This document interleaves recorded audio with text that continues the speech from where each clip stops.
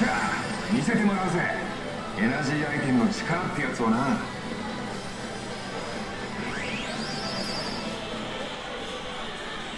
龍君あ君も俺の弟子になりなさい。やだよ。なぜだ逆になんで俺が弟子になると思ってんだよ。まあだったらそうだ俺と一緒に正義の炎を燃やしなさい。燃えてるよ。もう燃えてるよ。見りゃ分かったろ。私に続きなさい。ああもう勝手だな楽勝だったな。